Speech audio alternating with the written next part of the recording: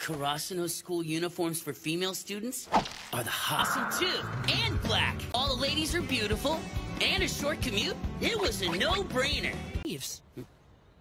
That's the right fit for the libero position. Because solid receives are the backbone of the defense, right? Look at you. You really know your stuff, huh? Game. And that's what upperclassmen do.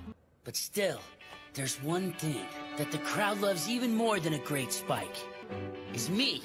And while we're at it, why didn't you call for the ball at the end? Come on, you were in the perfect position. Hugo feels guilty every time I get blocked. Oh, who gives a damn what anybody else thinks about it? That was all I needed to hear from you, Asahi. Nice shot! It's a... Get it! That libero is incredible!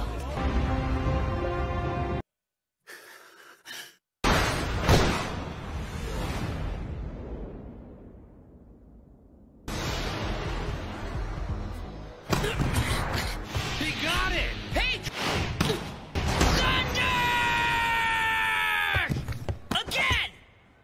Hey, uh, why is Noya the only one with an orange one? Because I'm the star. Jeez, shouldn't that be obvious by now? Nishinoya is the second year. Hey! Cool. Nice to meet you, first years. Hey, how's it going, Tanaka? I played against those guys in middle school and they beat us two to one. And that big of a deal. It's kind of embarrassing, actually. He really said that? Mm-hmm, I like your style. You want to be the ace because it's flashy and cool, right? Hell yeah, buddy. You can be the ace if you set your mind to it. To tell the truth, you're a lot more promising than the guy we have.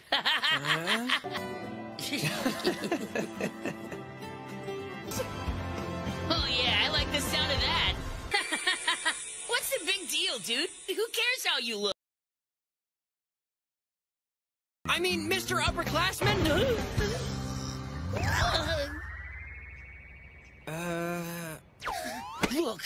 Noya from Chidoriyama. He won Best Libero that's back in middle school. I Huh?